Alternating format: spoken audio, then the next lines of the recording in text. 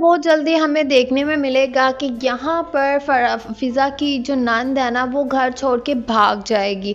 क्योंकि उसने जो है ना, उसकी वजह से होना है मकाफ़ात अमल जो कुछ फ़राज़ ने जो है ना, किया दुआ के साथ एक्चुअल में वही सब कुछ होगा यहाँ पर फ़राज़ की ही अपनी सगी बहन के साथ। जैसे वो इंसल्ट करता था फ़िज़ा की, वैसे ही अब उसके मुँह पर, ख़ुद पर भी चपेट पड़ेगी।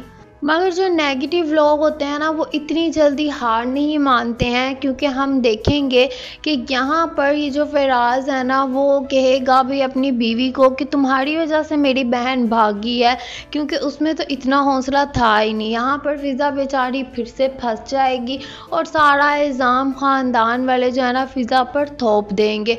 अब इस बात का जवाब देने आएगी दुआ, क्योंकि दुआ कहेगी, चलो मेरी वजह से तो तुम्हारी इंसल्ट करते थे, समझ में आती है।